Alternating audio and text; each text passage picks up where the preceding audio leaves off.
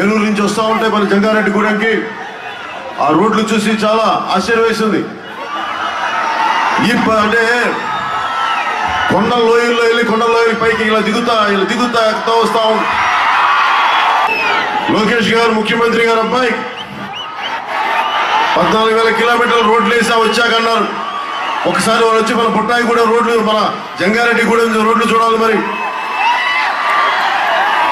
అసలు మన గ్రామాల్లోకి వెళ్తే నేను చూస్తా ఉన్నా మన లక్ష్మీపురం దగ్గర ఉన్న తెల్లవారుజాము పూట మన లక్ష్మీ నరసింహస్వామి గుడికి వెళ్తే పద్నాలుగు పద్నాలుగు కిలోమీటర్ల దూరం అని చెప్పారు నాకు.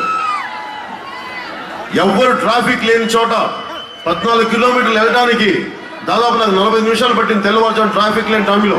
మామూలుగా ప్రతి చిన్న గ్రామానికి వెళ్ళటానికి చిన్న దూరం వెళ్ళటానికి కూడా కనీసం నలభై నలభై నిమిషాలు అరగంట పడుతుంది నలభై నిమిషాలు పడుతుందని చెప్తా ఉంటే రోడ్ల పరిస్థితి అంత అధ్వానంగా ఉంది.